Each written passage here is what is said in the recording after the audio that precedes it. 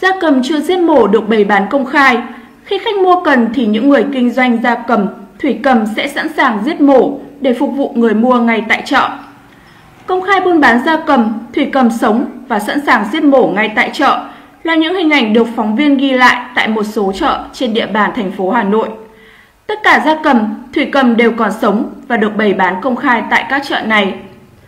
Vào vai một người đi mua hàng, phóng viên được mời chào mua gà và nếu mua sẽ được mổ miễn phí ngay tại chợ, để chỉ việc mang về nhà là có thể chế biến được ngay. Theo ghi nhận, việc giết mổ diễn ra rất nhanh chóng với một nồi nước kiêm dụng cụ vặt lông. Tiếp đó gà sẽ được ném xuống sàn để mổ và chưa đầy 5 phút, người mua gà đã có một con gà sạch bóng lông, chỉ việc mang về nhà chế biến.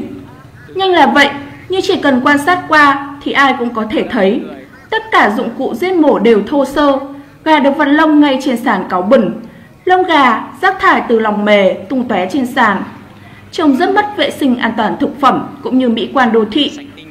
Chưa dừng lại ở đó, tất cả nước thải đều được xả trực tiếp xuống cống nước thải chung rồi chảy ra hệ thống nước thải của toàn thành phố. Ngày ngày một lượng lớn gia cầm, thủy cầm được giết mổ ngay tại một số chợ của Hà Nội đang tiềm ẩn nguy cơ bùng phát dịch bệnh. Nhất là việc mới đây tại Trung Quốc đang bùng phát dịch cúm A H7N9 và hiện đang diễn biến phức tạp ở 13 tỉnh, thành phố với số ca mắc bệnh tăng cao đột biến, tỷ lệ tử vong cao khoảng 40%. Trong đó tỉnh Quảng Đông, Quảng Tây là nơi có giao lưu thương mại, du lịch nhiều với nước ta. Riêng trong 2 tháng qua đã ghi nhận hơn 340 trường hợp mắc bệnh, tạo thành đợt dịch thứ 5 kể từ năm 2013.